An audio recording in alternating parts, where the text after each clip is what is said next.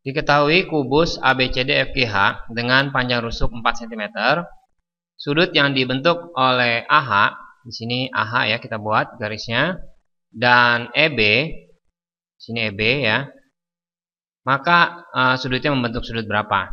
Nah, di sini kalau kita perhatikan EB ini kalau kita taruh di HC ya di sini kita taruh di HC, maka dia sama juga boleh ya karena EB sama HC kan sejajar. Jadi kita bisa pindahkan. Dan kalau kita buat uh, segitiga di sini, kita akan membentuk segitiga. Misalnya kita tarik AC di sini ya, maka kita akan membentuk segitiga namanya segitiga AHC. Nah, dari sini kalau kita perhatikan, AH ini adalah diagonal sisi. Di HC juga sama diagonal sisi dan AC juga diagonal sisi.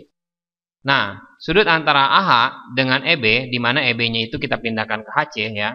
Berarti sudut yang dimaksud adalah sudut AHC di sini. Ya, yang ditanya. Nah, karena segitiganya ada segitiga sama sisi, berarti sudut yang kita jawab adalah sudut 60 derajat ya.